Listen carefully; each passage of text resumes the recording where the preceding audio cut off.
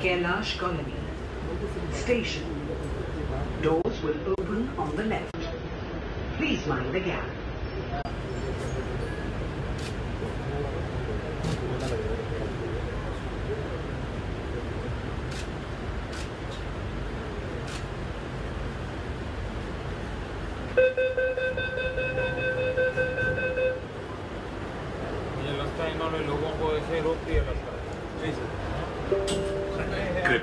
दरवाजों से हटकर खड़े हों Please stand clear of the doors.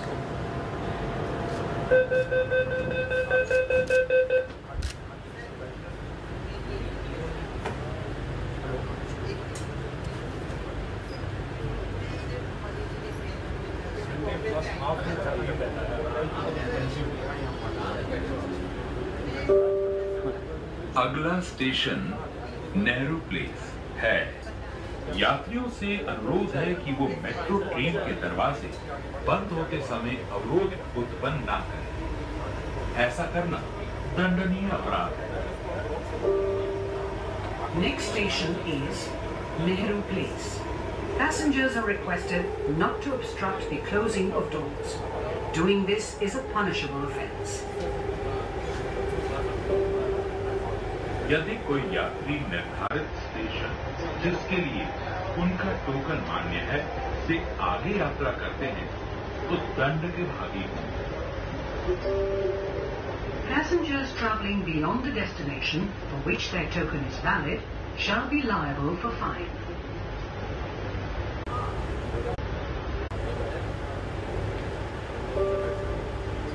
Nehru Place station दरवाजे बाईं ओर खुलेंगे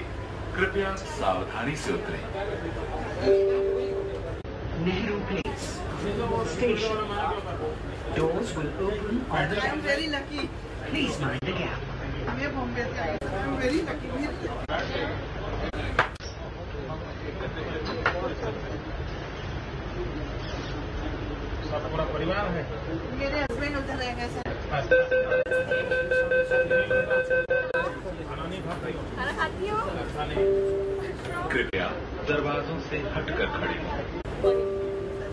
Please stand clear of the doors.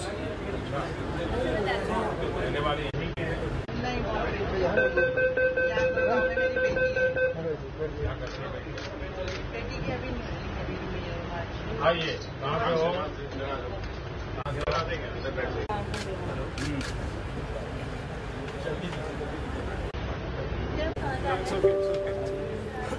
Station कालका जी मंदिर है। कृपया दरवाजों से हटकर खड़े। यात्रियों से निवेदन है।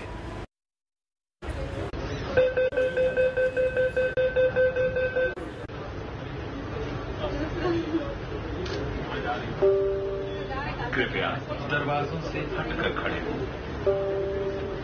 Please stand clear of the doors. Front camera नहीं है ना में फ्रंट कैमरा भी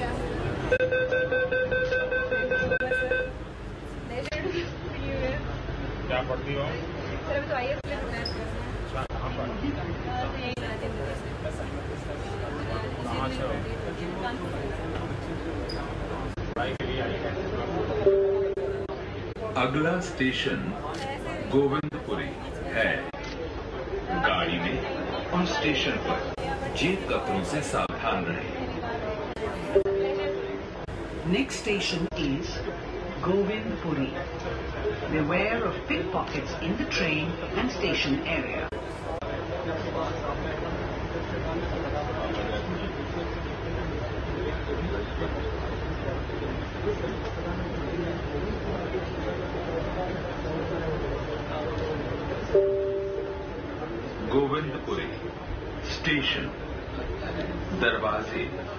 बाई ओर खुलेंगे। कृपया सावधानी से उतरे। Govindpuri station. Doors will open on the left please mind the gap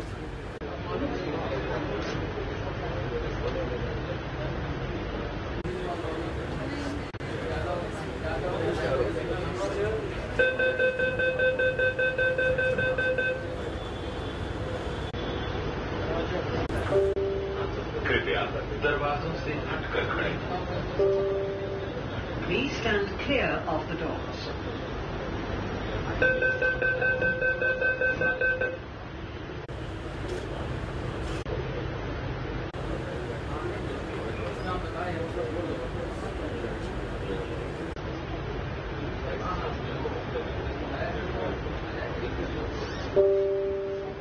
अगला स्टेशन हरकेश नगर ओखला है यात्रियों से अनुरोध है कि मेट्रो सुरक्षा कर्मचारियों को सुरक्षा जाँच में सहयोग करें Next station is Harkesh Nagar, Okhla. Passengers are requested to cooperate with metro security staff during security checks.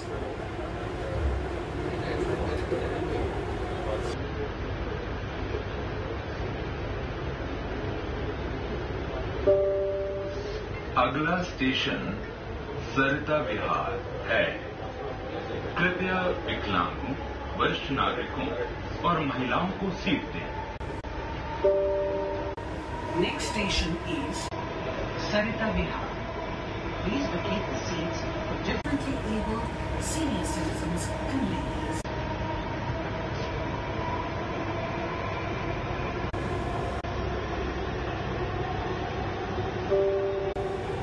यात्रियों की सुविधा के लिए गाड़ी में लैपटॉप मोबाइल फ़ोन चार्जिंग के लिए सॉकेट उपलब्ध है।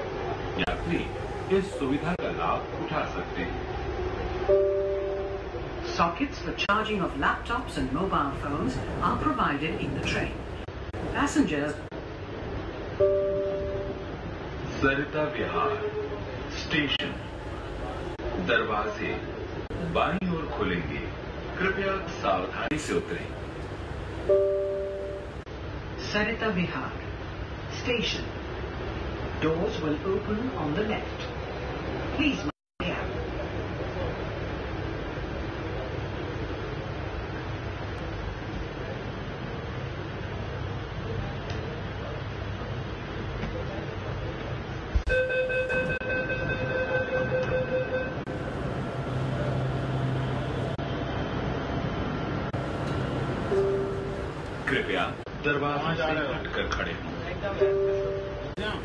stand clear of the doors.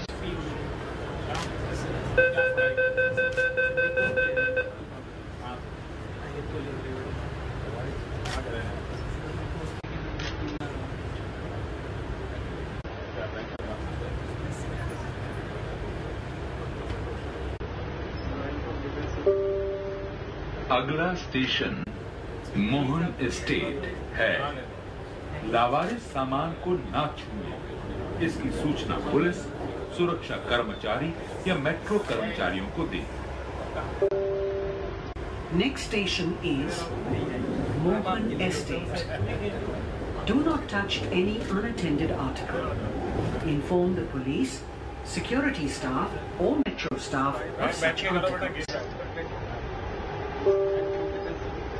Delhi metro में धूम्रपान और खान पान करना वर्जित है।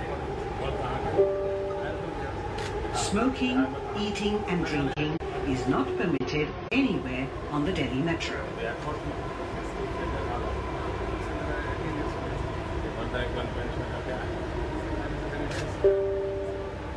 Mohan estate station दरवाजे बाईं ओर खुलेंगे कृपया सावधानी से उतरें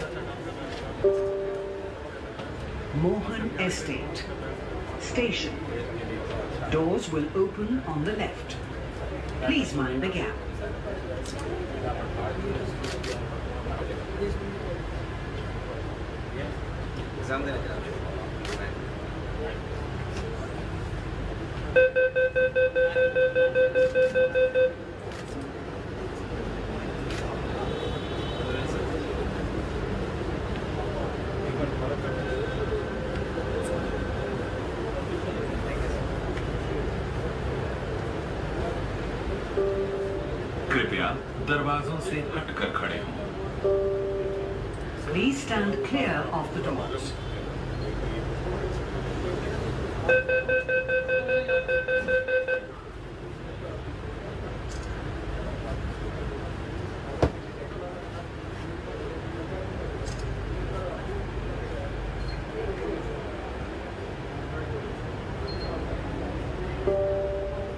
अगला स्टेशन तुगलगाबाद है।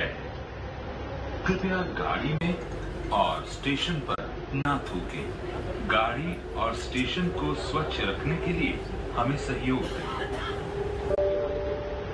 Next station is Tughlakabad please do not spit inside the train and station area help us to keep trains and station clean कृपया अपनी यात्रा के पश्चात टोकन वापस जमा करा दें टोकन को गैर आधिकारिक रूप से रखने पर दो सौ रुपए का जुर्माना या भारतीय दंड संहिता अनुसार कानूनी कार्रवाई की जा सकती है Passengers are requested to deposit the tokens after their journey. Unauthorized possession of tokens is an offence with a fine of 200 rupees or prosecution under the Indian Penal Code.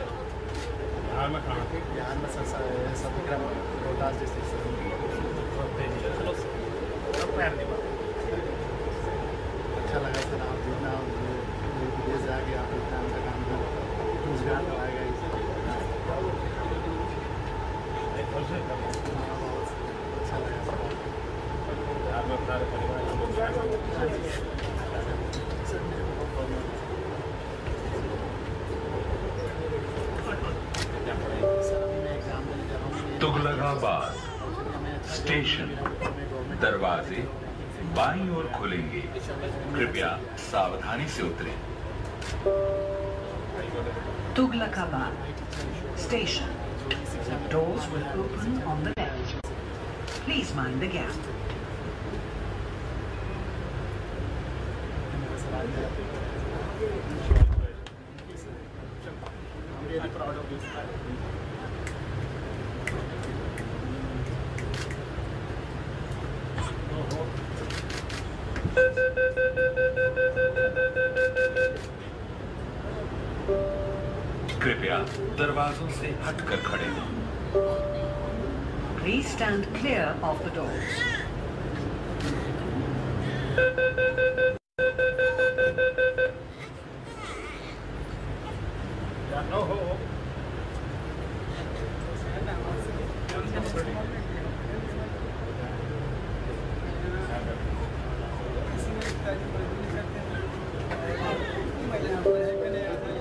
अगला स्टेशन बदरपुर है लावारिस या संदिग्ध सामान जैसे ब्रीफकेस बैग खिलौना thermos और transistor bomb हो सकते हैं Next station is Badarpur. नमस्ते Any unattended or suspicious article, like a briefcase, bag, toy, thermos, and transistor, could be a bomb. Station पर ट्रेन से उतरते समय दरवाजों के मध्य में रहें While deboarding the train, please ensure that you are standing in the center of the exit door. Badarpur station यह गाड़ी आगे नहीं जाएगी दरवाजे बाईं तरफ़ खुलेंगे कृपया सावधानी से उतरें दिल्ली मेट्रो में यात्रा करने के लिए धन्यवाद कृपया अपना सामान ले जाना न भूलें हैं Station. This train terminates here. Doors will open on the left. Please mind the gap. Thank you for traveling with Delhi Metro. Please remember to take all your belongings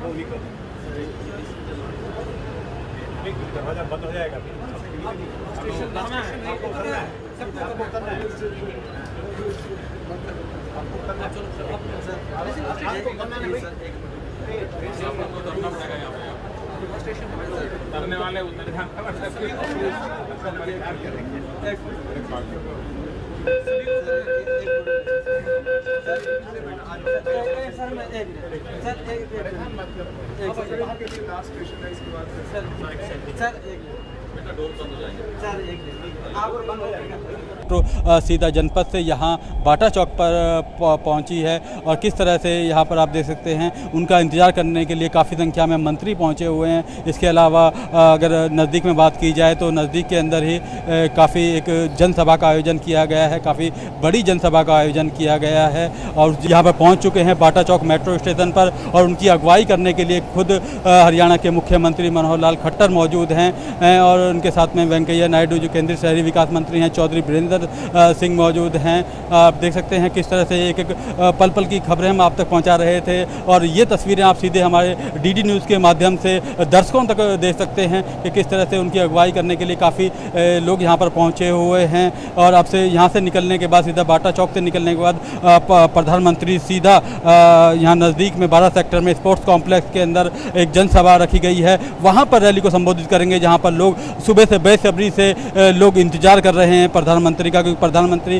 की खासियत है कि वो आम जनमानस से जुड़ते हैं, हम, आम आम जनमानस से जुड़ते हैं और आम आम जनमानस की वो बातें करते हैं, क्योंकि जो सीधी सीधी लोगों से जुड़ने वाली बातें हैं, वो कहीं ना कहीं वो सीधा लोगों से बातें करते हैं तो कहीं ना कहीं लोग उनकी बातें सुनना चाहते हैं, क्योंकि उनके हर भाषण में कुछ ना कुछ नया होता है तो आज भी उम्मीद की जा रही है कि प्रधानमंत्री के भाषण में कुछ ना कुछ नया होगा, लोग उनकी बातें सुनने के लिए काफ़ी संख्या में फरीदाबाद में यहाँ पर पहुँचे हुए हैं। और काफ़ी लोग उत्साहित हैं क्योंकि प्रधानमंत्री खुद यहाँ यहाँ पर कॉरिडोर का उद्घाटन करने के लिए पहुँचे हुए हैं। आप लाइव तस्वीरें देख सकते हैं। हमारी पूरी टीम चाहे अरुण शर्मा हो या फिर हमारे सहयोगी सिद्धांत सिब्बल हो, आप तक पल पल की खबरें यहाँ तक दिखा रहे थे। और प्रधानमंत्री, आप देख सकते हैं किस तरह से यहाँ से बाटा चौक मेट्रो स्टेशन से होते हुए सीधा अब सीधा रैली के लिए प्रस्थान कर रहे हैं। जो नज़दीक में बाबा सेक्टर के अंदर एक रैली रखी गई है।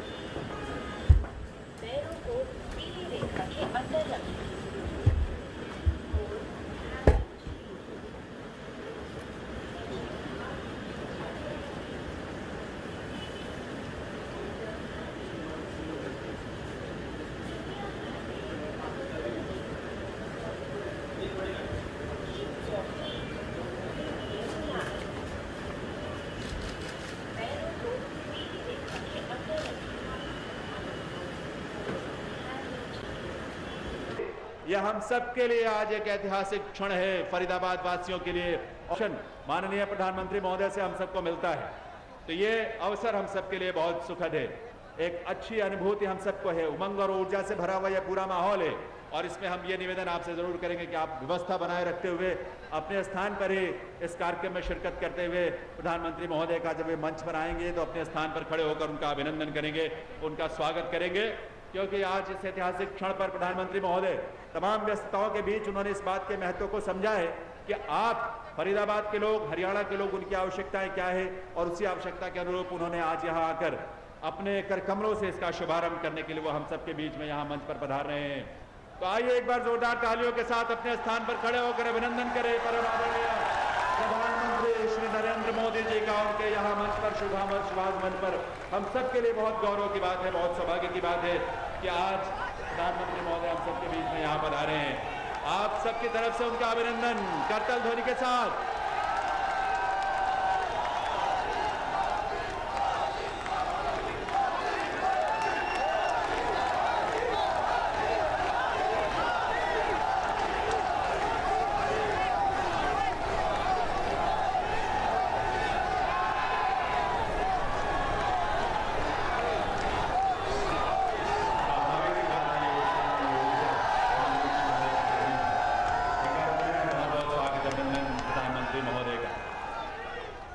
साथ ही देवियों सज्जनों, हम इस अवसर पर यहाँ पधारे माननीय राज्यपाल हरियाणा, प्रोफेसर कप्तान सिंह सोलंकी जी का, माननीय केंद्रीय शहरी विकास आवास, शहरी गरीबी उपशमन तथा संसदीय कार्य मंत्री श्री एम वेंकैया नायडू जी का, माननीय मुख्यमंत्री हरियाणा श्री मनोहर लाल जी का, केंद्रीय ग्रामीण विकास मंत्री चौधरी वीरेंद्र सिंह जी का, केंद्रीय योजना स्वतंत्र प्रभार और रक्षा राज्य मंत्री राव इंद्रजीत सिंह जी का, केंद्रीय शहरी विकास राज्य मंत्री श्री बाबुल सुप्रियो जी का केंद्रीय सामाजिक न्याय और अधिकारिता राज्य मंत्री कृष्णपाल जी का, मंचासीन सभी विभूतियों का और वरिष्ठ अधिकारियों का हम यहाँ पर स्वागत अभिनंदन करते हैं इस अवसर पर। जबकि बदरपुर फरीदाबाद मेट्रो लाइन का उद्घाटन कार्यक्रम और गति प्रगति रैली में यहाँ प्रधानमंत्री महोदय हम सबके बीच में पधारे हैं। हरियाणा प्रदेश और विशेष तौर पर फरीदाबाद वासियों को उनके करकमलों से आज जो अनुपम उपहार मिल रहा है, उससे हम सभी अनुभूत हैं। एक और हमारे समाज का बहुत महत्वपूर्ण हिस्सा जो आज अभिभूत है, वो माननीय प्रधानमंत्री महोदय की उस घोषणा से जो वन रैंक, वन पेंशन स्वीकार की गई है, प्रधानमंत्री महोदय की पहल पर उनके लाल किले से किए गए वादे के अनुरूप आज सभी सैन्य समुदाय के लोग इस बात से अभिभूत हैं और माननीय प्रधानमंत्री महोदय का अभिनंदन करना चाहते हैं इस अवसर पर, निश्चित रूप से। और सब हमारे परिवारों के सदस्य हैं जिन्होंने बलिदान दिया है। देश की हिफाजत के लिए, सुरक्षा के लिए लड़ाइयाँ लड़ी हैं। हम जानते हैं कि हम उन्नीस सौ पैंसठ के युद्ध के पचासवें वर्षगांठ मना रहे हैं, स्वर्ण जयंती मना रहे हैं। ऐसे अवसर पर प्रधानमंत्री महोदय की तरफ़ से ये जो घोषणा है, उन सब के लिए बहुत हर्ष की बात है। और इस अवसर पर हमारे तीनों सेना के तीनों अंगों के सैन्य अधिकारी और कर्मी सभी यहाँ पर हमारे, जिसमें सीनियर वरिष्ठ अधिकारियों से लेकर हवलदार तक मौजूद हैं, ये सभी brigadier Mishra, major general S P Sinha, major general P N Awasthi, brigadier V K Anand, colonel Vinod Kumar Gaur, colonel Rishabh Rishpal Singh lieutenant colonel H S Sirohi, colonel K P S Rana, colonel Ishrat Nabi, colonel B S Garg, colonel Rajendra, colonel Bhardwaj, colonel R K Chadda sergeant Tejpal Jakhar, हवलदार गुलिया आप सबकी जोरदार तालियाँ ज़रूर होनी चाहिए। भारत सरकार की जो घोषणा है प्रधानमंत्री के नेतृत्व में वन रैंक वन पेंशन की, हमारे उन सभी जवानों और सैन्य कर्मियों के लिए एक बहुत सुंदर तोहफा पिछले 40 वर्षों से भी लंबे समय से जो मांग थी, उनकी एक ही पुकार थी कि वन रैंक वन पेंशन के उनके अधिकार को उन्हें दिया जाए। प्रधानमंत्री महोदय ने शुरू से ये वादा किया था, लाल किले से ये घोषणा की थी और उसे भारत सरकार ने उनके नेतृत्व में स्वीकार किया है और इसकी घोषणा की जा चुकी है। आज, उसके बाद, इस अवसर पर प्रधानमंत्री महोदय का अभिनंदन ये सभी कर रहे हैं व्यक्तिगत रूप से। पूरे सैन्य समुदाय का प्रतिनिधित्व करते हुए ये प्रधानमंत्री महोदय का विशेष आभार और इनमें शामिल है, जैसे कि मैंने बताया, सार्जेंट तेजपाल चागड़, हवलदार Gulia, colonel V P Yadav, colonel Surendra Singh ji, colonel Suhag, colonel रघुवीर, ये सभी पूरे सैन्य समुदाय का प्रतिनिधित्व करते हुए यहाँ पर प्रधानमंत्री महोदय का आभार, उनका अभिनंदन इस अवसर पर कर रहे हैं। इन सबके लिए हम सबकी तरफ़ से बहुत सारी शुभकामनाएँ। और देवियों सज्जनों, में अब निवेदन करूँगा, माननीय केंद्रीय शहरी विकास आवास, शहरी गरीबी उपशमन और संसदीय कार्य मंत्री श्री वेंकैया नायडू जी से कि वे अपने संबोधन के लिए पधारें आदरणीय श्री वेंकैया नायडू जी।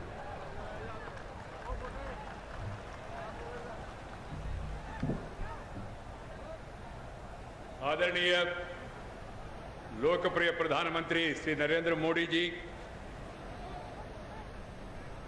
लोकप्रिय मुख्यमंत्री हरियाणा का श्री मनोहर लाल खट्टर जी राज्यपाल महोदय, श्री कप्तान सिंह सोलंकी जी, केंद्र में मेरे साथी चौधरी वीरेंद्र सिंह जी, राव इंद्रजीत सिंह जी, मेरा विभाग में सहमंत्री श्री बाबुल सुप्रियो जी और स्थानीय आपका प्रतिनिधि फरीदाबाद का केंद्र मंत्रिमंडल में सक्रिय सदस्य श्री कृष्णपाल गुज्जर जी हरियाणा मंत्रिमंडल में सभी सदस्यगण और इस भारी संख्या में आए हुए फरीदाबाद और अन्य इलाका हरियाणा से आए हुए सभी बहनों और भाइयों, मैं सबको सादर नमस्कार करना चाहता हूँ और सबको हरियाणा में मेट्रो प्रवेश के संदर्भ में सबको शुभकामना और अभिनंदन देना चाहता हूँ। एक ऐतिहासिक घटना है आज। अधिकारी दिल्ली मेट्रो रेलवे कॉरपोरेशन और हरियाणा मेट्रो रेलवे कॉरपोरेशन और मेरे विभाग का सभी अधिकारी भी यहाँ है। ट्रायल रन हो चुका है। आज हमारा प्रधानमंत्री जी का कर कमरों से, इसका भद्रपुर से फरीदाबाद तक इसका विस्तार करने का एक्सपेंशन का काम का आज शुभारंभ होगा। और थोड़ी दिनों में इसके बाद यहाँ से वल्लभगढ़ तक जाने के लिए भी मेट्रो काम हम पूरा करेंगे। मैं आप सबको बताना चाहता हूँ। मित्रों हमारा प्रधानमंत्री जब से आए, पूरा दुनिया भारत के ओर देख रहे प्रधानमंत्री जी के कारण से पूरा दुनिया में भारत का पहचान और भारत का प्रतिष्ठा बढ़ गया। मैं अभी अभी सुन रहे थे, यहाँ आए तो स्वाभाविक रूप में लोग कह रहे मोड़ी मोड़ी मोड़ी ये केवल हरियाणा में, फरीदाबाद में, करनाल में, नहीं तो गुरगांव में नहीं, पूरा दुनिया में, अमेरिका में, ऑस्ट्रेलिया में, कनाडा में, चाइना में, जर्मनी में, जापान में जहाँ भी जाए, लोग कह रहे मोदी मोदी मोदी मोदी मोदी मोदी क्यों? क्यों? कारण क्या है?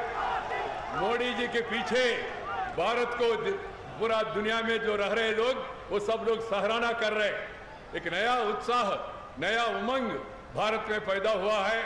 प्रगति शीघ्र करते आगे बढ़ेगा, ऐसा लोगों में विश्वास है। इसलिए लोगों ने हमको मैंडेट दिया है। मित्रों मेट्रो एक्सपेंशन का जो काम है, इसके पहले मैं दो शब्द कहूँगा। जो पुराना बात बहुत सालों से जो पेंडिंग है, वो सभी समस्याओं का एक ऐतिहासिक निर्णय करना प्रधानमंत्री एक के बाद एक करते रहा। नंबर वन आप लोगों ने भी देखा होगा नेशनल जुडिशियल अपॉइंटमेंट कमीशन 25 साल से हम चर्चा कर रहे थे। समाधान नहीं हो पाया। मगर मोदी जी प्रधानमंत्री बने, पहली राउंड में ही नेशनल जुडिशियल अपॉइंटमेंट कमीशन का निर्णय पार्लियामेंट ने किया है। दूसरा निर्णय आपने भी देखा होगा, बांग्लादेश और भारत के बीच में वहाँ का बॉर्डर ज़मीन बदलाने का संबंध में 1974 में इंदिरा जी और मुजीब का बीच में, मुजीब जी के बीच में उस समय अग्रीमेंट हुआ 74 में। 74 से अभी 2015 तक 30 साल हो गया। 30 साल के बाद श्री नरेंद्र मोदी प्रधानमंत्री बने। सबसे सलाह मशुरा करके इंडो बांग्लादेश बॉर्डर का भी पार्लियामेंट में सर्वसम्मति से पारित करवाया हमारा प्रधानमंत्री नरेंद्र मोदी जी ने। कल आप लोगों ने देखा 40 साल से लोग चर्चा कर रहे, देश का सुरक्षा करने वाले, हमारा भाई, अपना परिवार को छोड़ के जो सीमा में काम कर रहे, ऐसी महान भावों का, लोगों का, उनका मांग था, वन रैंक, वन पेंशन होना चाहिए। पुराना सरकारों के जमाने में इसके बारे में चर्चा होते रहा और जाते जाते कांग्रेस पार्टी ने कहा 500 करोड़ देंगे। 500 से क्या होगा, कुछ होने वाला नहीं है। और उसके बाद स्टैंडिंग कमेटी का रिपोर्ट आया 2500 करोड़ होगा खर्चा मैक्सिमम मगर जब विषय सामने आया, प्रधानमंत्री ने गहराई से इसको अध्ययन करने के लिए वित्त मंत्री को और रक्षा मंत्री को आपका इंद्रजीत सिंह को, को सबको कहा है। उसके बाद अध्ययन होने के बाद ये मालूम पड़ा आठ हज़ार से दस हज़ार दस हज़ार करोड़ खर्चा होने वाले हैं। फिर भी प्रधानमंत्री ने देश के हित में फौज के हित में और पूर्व सेनानी के हित में ये ऐतिहासिक निर्णय श्री नरेंद्र मोदी जी ने कल ये निर्णय करवाया और घोषित हो गया। देश में लोग सब इसको स्वीकार कर रहे हैं। और ऐसी मित्रों हरेक हरेक स्तर पर भारत को विकसित देश बनाने के लिए पूरा प्रयास चल रहे हैं। देश में बैंक अकाउंट 50 परसेंट लोग के पास नहीं था। प्रधानमंत्री ने इनिशिएटिव लेके जन धन योजना हर एक व्यक्ति के लिए बैंक में खाता होना चाहिए। ये प्रधानमंत्री का आदेश। पाँच महीने में 17 करोड़ बैंक अकाउंट पूरा देशवासियों ने, हरियाणा सहित सबने ये करके दिखाया। और उसके बाद सोशल सिक्योरिटी स्कीम इंडिया में है नहीं, सोशल वेलफेयर है। इंडिया में सोशल सिक्योरिटी नहीं है। मगर प्रधानमंत्री ने जन सुरक्षा बीमा योजना, जनश्री बीमा योजना, अटल पेंशन योजना, मुद्रा बैंक योजना, ये सभी सामाजिक कमज़ोर वर्गों के लिए मदद करने के लिए, गरीब लोगों के उत्थान के लिए प्रधानमंत्री नरेंद्र मोदी ने ऐसा ऐतिहासिक निर्णय लिया है। ऐसा बहुत कुछ सरकार कर रहे मैं चाहता हूँ हम सब लोग साथ देते रहे नरेंद्र मोदी जी को और देश का विकास के रास्ते पर और तेज़ी से आगे ले जाने के लिए। जो समय आपने दिया, वो समय में वो काम पूरा करके दिखाएँगे, ये कैपेसिटी मोदी जी में है। मोदी माने लोग कहते मोदी माने maker of O D I that is Narendra Modi that is the slogan of the people of India because people like him for his dynamism, discipline, dedication, character, caliber, capacity, conduct, discipline, dynamism, and devotion, all in one. That is Narendra Modi. That is the feeling of the mass of the country. मित्रों आप लोग देख रहे हैं जिस आज के संदर्भ में ये metro Delhi metro rail corporation बढ़िया काम कर रहे आज का युग में मेट्रो एक फ्लेवर ऑफ़ द सीज़न है। दिल्ली मेट्रो आज का इस विस्तार के संदर्भ में 200 किलोमीटर का नेटवर्क आज पूरा हो रहा है। सुबह अवसर पर मैं आपको इससे शेयर करना चाहता हूँ। और मित्रों, इसके साथ पूरा देश में 300 किलोमीटर मेट्रो ऑपरेशन हो रहे हैं। इसमें केवल दिल्ली में 200 किलोमीटर मेट्रो ऑपरेशन चल रहे हैं। और साथ ही साथ मित्रों 610 किलोमीटर मेट्रो नेटवर्क का कंस्ट्रक्शन पूरा देश में चल रहा है। और आने वाले दिनों में दिल्ली के साथ Bangalore, Chennai, Kochi, Jaipur, Hyderabad, Mumbai line three Nagpur, rapid metro, बाद में प्राइवेट इंस्टीट्यूट के द्वारा गुड़गांव में, अहमदाबाद में, मुंबई में monorail phase two, Chennai में फ़ेज़ टू, और इसके साथ ही साथ और एक 620 किलोमीटर नया मेट्रो लाइन्स भी प्लानिंग में एडवांस स्टेज में है। हम पूरा करेंगे, सब लोग, कारण क्या है पब्लिक ट्रांसपोर्ट चाहिए। फरीदाबाद एक महत्वपूर्ण शहर है। इंडस्ट्रियल सिटी है इंडस्ट्रियल हब है। इसलिए फरीदाबाद को जोड़ना बहुत ज़रूरी है, अंदाज़ा है, जो दिल्ली से फरीदाबाद जोड़ने के कारण हर एक दिन दो लाख पैसेंजर्स का संख्या बढ़ेगा। फरीदाबाद का विकास और तेज़ी से होगा और साथ ही साथ आसपास में जो इलाका है, उस इलाका का भी। ऑलरेडी फरीदाबाद स्मार्ट सिटी है। स्मार्ट सिटी का घोषणा किया है। करनाल भी स्मार्ट सिटी है। गुरगांव के बारे में चर्चा चल रही है। मैं चाहता हूँ लोग साथ दे और यहाँ का स्थानीय इकाई के साथ एडमिनिस्ट्रेशन के साथ कॉरपोरेशन के साथ हम सब लोग मिलकर ये फरीदाबाद को एक सुंदर शहर बनाने के लिए सब लोग प्रयास करना चाहिए। मित्रों, इसके साथ और एक विषय बता के मैं समाप्त करूँगा।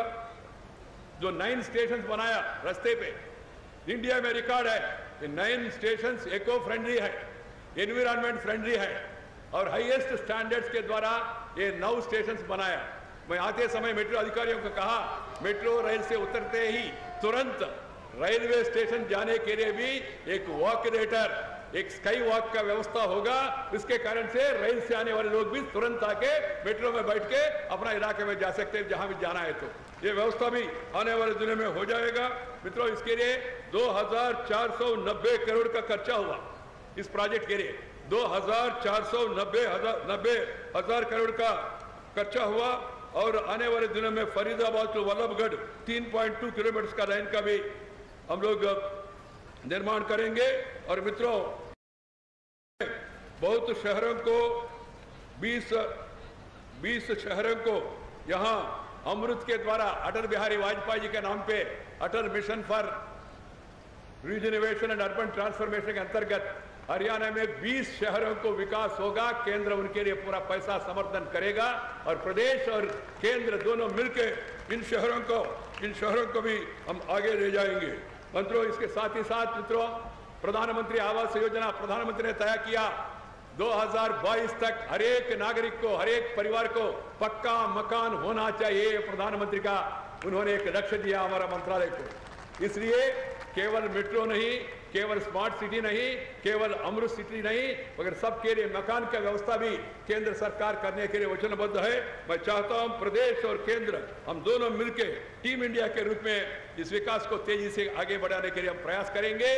आप सब लोग भी श्री मनोहर लाल जी को यहाँ जो मुख्यमंत्री है, उनका मंत्रिमंडल को भी आप साथ देके और साथ ही साथ केंद्र को साथ देके ये विकास का जो रथ चला इसको तेज़ी से और आगे बढ़ने के लिए मदद करेंगे, ऐसा मैं आशा करता हूँ। सबको नमस्कार, जय हिंद। बहुत बहुत आभार माननीय मंत्री महोदय का। मैं अब निवेदन करूँगा माननीय मुख्यमंत्री हरियाणा श्री मनोहर लाल जी से कि वे अपने संबोधन के लिए पधारें।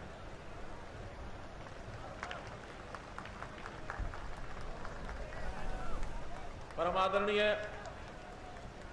प्रधानमंत्री श्री नरेंद्र मोदी जी, हरियाणा के माननीय राज्यपाल श्री कप्तान सिंह सोलंकी जी, माननीय केंद्रीय शहरी विकास मंत्री श्री वेंकैया नायडू जी, माननीय केंद्रीय ग्रामीण विकास मंत्री चौधरी वीरेंद्र सिंह जी, माननीय केंद्रीय योजना एवं रक्षा राज्य मंत्री राव इंद्रजीत सिंह जी माननीय केंद्रीय शहरी विकास राज्य मंत्री बाबुल सुप्रियो जी, आदरणीय केंद्रीय सामाजिक न्याय एवं अधिकारिता मंत्री और हमारे यहाँ के स्थानीय सांसद भाई कृष्णपाल गुर्जर जी, सभी हरियाणा सरकार में मेरे मंत्री साथीगण, सभी यहाँ पधारे सांसदगण, विधायकगण और इस सभा में उपस्थित बुज़ुर्गों, भाइयों, बहनों, पत्रकार मित्रों, छायाकार बंधुओं आज बहुत ही एक प्रसन्नता का विषय है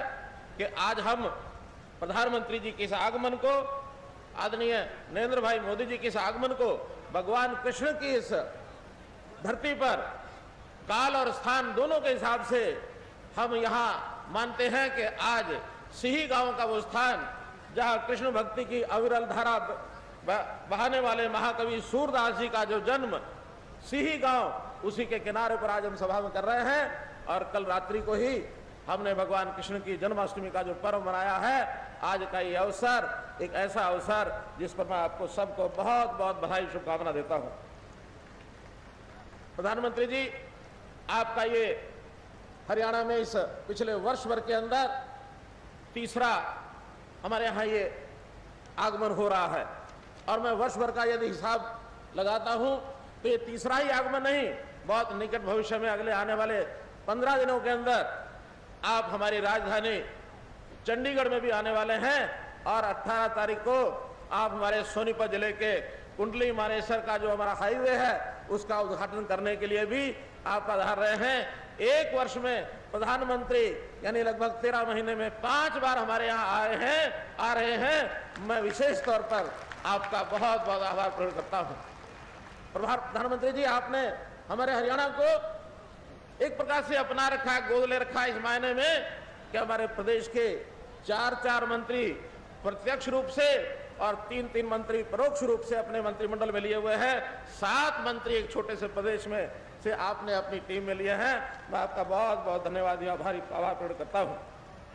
19 अगस्त को आप कैथल में आए थे, नेशनल हाईवे नंबर एक जो एक किलोमीटर का राष्ट्रीय राजमार्ग, उसका चौड़ाकरण करने के लिए, उसको सुदृढ़ करने के लिए आपने नींव का पत्थर रखा, उसमें उसका शिलान्यास किया, और फिर 22 जनवरी को पानीपत में बेटी बचाओ, बेटी पढ़ाओ, ये जो अभियान आपने शुभारंभ किया, जिसके हरियाणा में बहुत ही एक सार्थक परिणाम निकल रहे हैं, और मैं मानता हूँ, हमारी जो अभी तक की, जो भी कोई कमी रही होगी इस जन रेशो में, हम इसको बहुत जल्दी इसको एक समान रेशो अथवा समान के निकट लाने का पूरा प्रयत्न कर रहे हैं।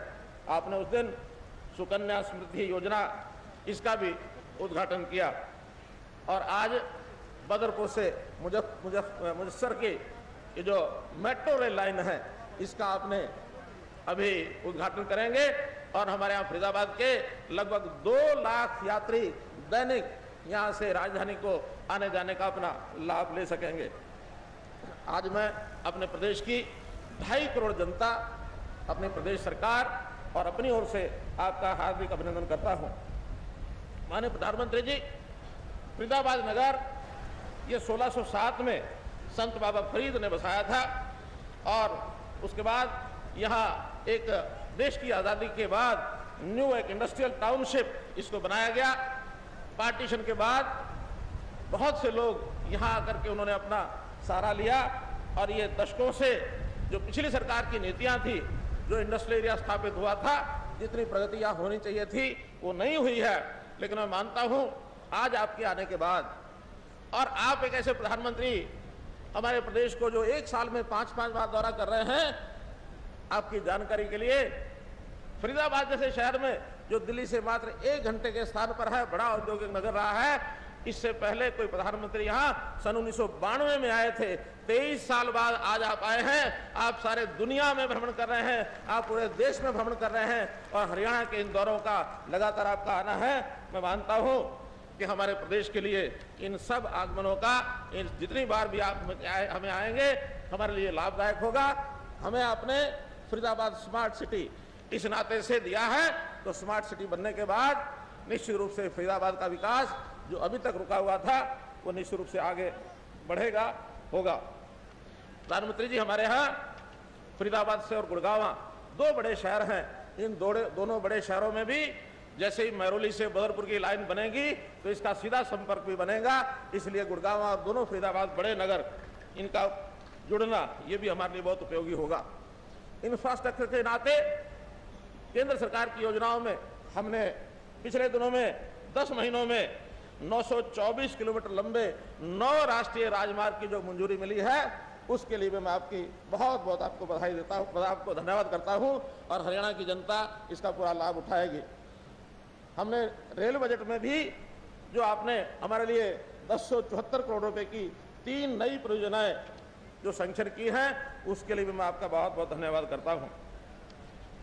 वर्षों से केएमपी रोड, कुंडली मानेसर पलवल ये जो पिछली सरकार के कारण से, उनके नीतियों के कारण से जो उलझी पड़ी थी, हमने आते ही उसको सुप्रीम कोर्ट से क्लियर कराया है, उसका काम चालू हो गया है। अगले ढाई वर्ष में जैसे ही वो केएमपी का मार्ग पूरा होगा, इससे भी हमारा उद्योग, इसको बहुत लाभ होगा, इसका काम हमने प्रारंभ करा दिया है।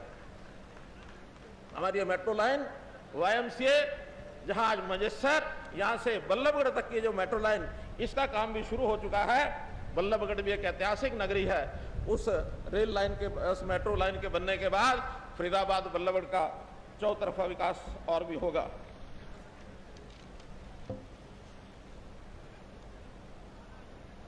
दिल्ली मेट्रो को गुड़गांव में हुडा सिटी सेंटर से सोना रोड तक का विस्तार और इसी प्रकार बहादुरगढ़ तक का विस्तार, कुंडली तक का विस्तार, ये अगली परियोजनाएँ हैं मेट्रो की। जो हरियाणा में आगे बढ़ रही हैं, इन सब परियोजनाओं से हरियाणा में उद्योग और निवेश इसका वातावरण अच्छा बना है। हम लोगों ने अभी अभी अपनी एक उद्यम पॉलिसी 2015 जो घोषित की है, उसमें बहुत से क्षेत्र जहाँ अभी तक उद्योग विकसित नहीं थे, ऐसे सब बैकवर्ड एरियाज़ में हम लोगों ने वहाँ के लिए उद्यमियों को नए नए रियायतें घोषित की हैं और उन रियायतों के आधार पर अब विकास किसी एक ज़िले या एक कोने में नहीं होगा। बल्कि इसका विस्तार सारे प्रदेश में सम्यक तरीके से विकास होगा, ऐसा हमने अपनी योजना बनाई है। इस उद्यम नीति को घोषित करने के बाद हम लोगों ने अपना एक सरकारी प्रतिमंडल, ये लेकर हम मैं स्वयं, हमारे उद्योग मंत्री, कनाडा, अमेरिका, ये आठ दिन का टूर करके आए हैं और इस आठ दिनों में वहाँ के निवेशकों ने, वहाँ के उद्यमियों ने बहुत रुचि दिखाई है। आपके ओजस्वी नेतृत्व के कारण से भारत का स्थान उन दोनों देशों में हमने महसूस किया कि बहुत ही एक आर्थिक भविष्य को लेकर के वहाँ एक बहुत बड़ा लोगों में विश्वसनीयता बढ़ी है, वे आश्वस्त हैं और हम भी आश्वस्त हैं कि वहाँ के लोग हमारे यहाँ आकर के और निवेश करेंगे। लगभग दस हज़ार करोड़ का विदेशी निवेश। इस निवेश के बाद हमको चालीस हज़ार लोगों को हम रोज़गार दे सकेंगे। ऐसी इस नीति के माध्यम से, इस इन्वेस्टमेंट के माध्यम से हम करेंगे। एक जानकारी। वो इस रूम में आप सब लोगों को भी बताना चाहूँगा कि हम जनवरी महीने में अपने यहाँ एक इन्वेस्टमेंट समिट करने जा रहे हैं। इस इन्वेस्टमेंट समिट के माध्यम से हम अपने यहाँ एक लाख करोड़ रुपए का निवेश और चार लाख लोगों का रोज़गार, ये योजना हमारी सरकार की ओर से बनाई जा रही है, जिससे हरियाणा में रोज़गार के नाते से हम लोग इस काम को करेंगे। डिजिटल इंडिया को लेकर डिजिटल हरियाणा, इन सेवाओं में भी हम लोग हरियाणा की जनता को सरकार आपके द्वार इस योजना के अंतर्गत हम नीचे तक उन सेवाओं को ले जा सके, ये सब हम काम कर रहे हैं।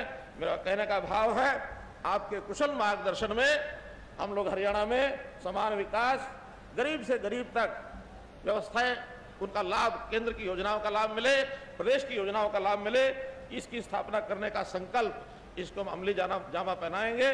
इन्हीं शब्दों के साथ मैं प्रधानमंत्री जी का पुनः बहुत बहुत धन्यवाद करता हूँ। बहुत बहुत धन्यवाद करता हूँ। बहुत बहुत आभार माननीय मुख्यमंत्री महोदय का। और अब मैं निवेदन करूँगा माननीय प्रधानमंत्री महोदय से कि वे अपने कर कमलों से बटन दबाकर शिला पट्टिका का अनावरण करने की कृपा करें। बदरपुर फरीदाबाद मेट्रो लाइन के उद्घाटन का विवरण इसी शिला पट्टिका पर अंकित है। मंच के दाहिनी तरफ़ ये शिला पट्टिका है। आप सब देख सकते हैं, आपकी बाई तरफ़ मंच के बिल्कुल साथ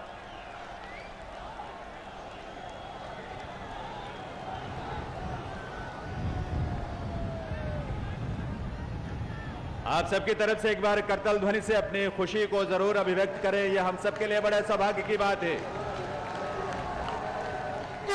और अब माननीय प्रधानमंत्री महोदय प्रतीक रूप में सेरेमोनियल फ्लैग दिखाकर इस मेट्रो सेवा और मेट्रो ट्रेन का शुभारंभ करेंगे अपने कर कमलों से। इसी मंच से आप सबकी गर्मामाई उपस्थितियों उपस्थिति में एक बार इस खुशी को आइए महसूस करें कत्तल ध्वनि के साथ।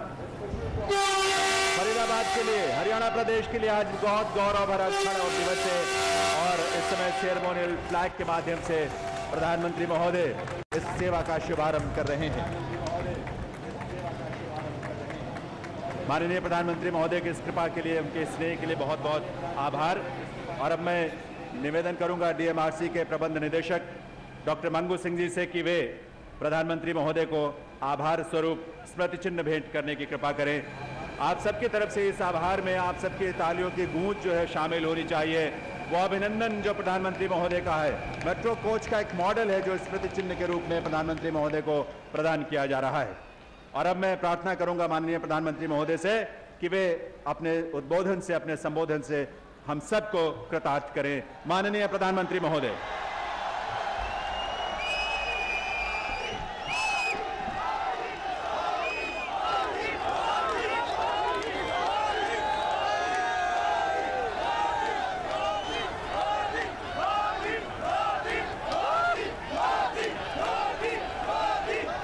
भारत माता की भारत माता की दोनों बंद करके पूरी ताकत से बोलिए, जय जवान, जय किसान। जय जवान, जय किसान। जय जवान, जय किसान। जय जवान, जय किसान। मंच पर विराजमान राज्यपाल महोदय श्रीमान कप्तान सिंह जी, हरियाणा के मुख्यमंत्री श्रीमान मनोहर लाल जी, केंद्र में मंत्री परिषद के हमारे वरिष्ठ सहयोगी श्रीमान वेंकैया जी नायडू, केंद्रीय मंत्री चौधरी वीरेंद्र सिंह जी, केंद्रीय मंत्री राव इंद्रजीत सिंह, केंद्रीय मंत्री और इसी भूमि के संतान श्री किशन पाल गुजर जी, केंद्रीय मंत्री श्री बाबुल सुप्रियो जी, विधायक श्रीमान सुभाष जी, श्री विपुल गोयल जी, श्रीमती सीमा त्रिखा जी, मूलचंद शर्मा जी टेकचंद शर्मा जी और विशाल संख्या में आए हुए मेरे प्यारे भाइयों और बहनों।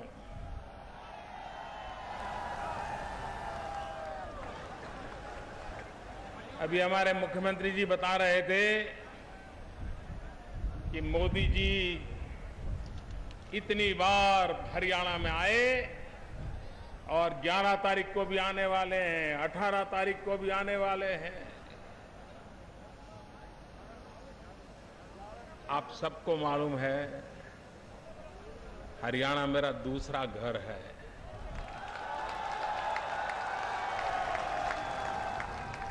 गुजरात छोड़ने के बाद मैंने वर्षों तक हरियाणा में ही अपना जीवन बिताया।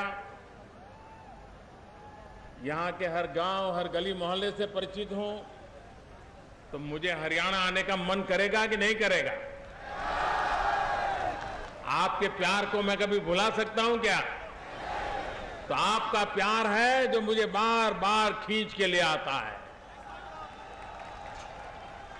और मैंने हरियाणा को कहा था, पहले दिन से कह रहा हूँ कि आपने मुझे जो प्यार दिया है मैं विकास करके ब्याज समेत लौटाऊँगा, ये मैं कह रहा हूँ।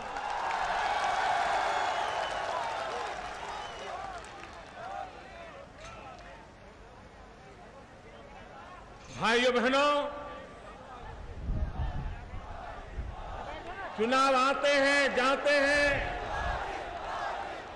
राजनीति अपनी जगह पे चलती रहती है। वो लोकतंत्र का स्वाभाविक हिस्सा है। लेकिन देश सिर्फ़ राजनीति से नहीं चलता है। देश राष्ट्र नीति से चलता है। देश विवादों से नहीं बढ़ता है, देश संवाद से बढ़ता है। हमारी समस्याओं का समाधान अगर उसका कोई एक उपाय है, अगर उसकी कोई एक जड़ी बूटी है तो जड़ी बूटी का नाम विकास है, विकास। विकास होगा तो नौजवान को रोज़गार मिलेगा। विकास होगा तो किसान को अपनी फ़सल का पूरा दाम मिलेगा। विकास होगा तो गरीब से गरीब बच्चे को अच्छे से अच्छी शिक्षा मिलेगी। विकास होगा तो गाँव के गरीब हो, वयोवृद्ध, तपोवृद्ध लोग हो, उनको आरोग्य की सुविधाएँ उपलब्ध होगी। गरीब को रहने के लिए घर मिलेगा। और इसलिए मेरे भाइयों बहनों, हम एक ही बिंदु पर काम कर रहे हैं। जब से आपने हमें जिम्मेवारी दी है, हमारा एक ही मंत्र है, एक ही मकसद है, एक ही मार्ग है, एक ही मंजिल है, और उसका नाम है विकास।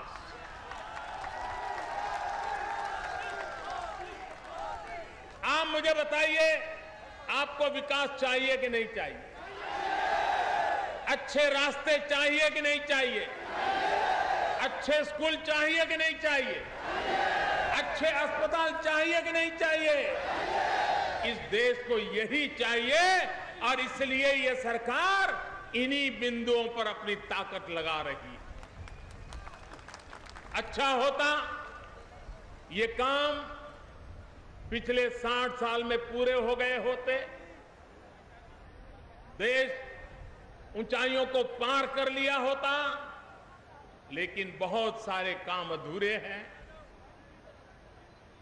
और अधूरे हैं इसलिए पुरानी सरकारों को आलोचना करके, उनकी टिप्पा टीका टिप्पणी करके, मैं रुक जाऊँ, वो उचित नहीं है। इस सरकार का जिम्मेवारी है कि हम समस्याओं के समाधान खोजें, विकास के नए नए उपाय खोजें और देश को नई ऊंचाइयों पर ले जाए। पिछले दिनों आपने देखा होगा, पूरी दुनिया में एक आर्थिक संकट पैदा हुआ। मज़बूत से मज़बूत आर्थिक नींव पर खड़े हुए देश हिल गए और तूफ़ान इतना भयंकर था कि उसके सामने टक, टिकना बड़ा मुश्किल था। इतनी बड़ी आंधी तेज आई थी। लेकिन सारे दुनिया के आर्थिक पंडितों का कहना है कितनी भयंकर आर्थिक मंदी के बीच इतने भयंकर आर्थिक तूफानों के